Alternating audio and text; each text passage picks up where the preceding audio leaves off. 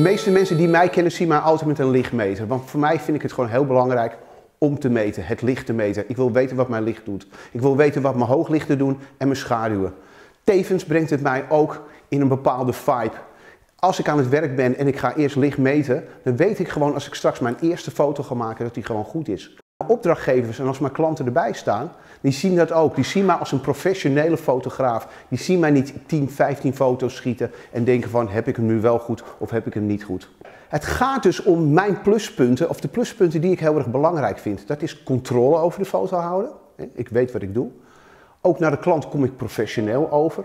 Plus daarbij is het gewoon erg fijn dat je precies weet wat je licht doet.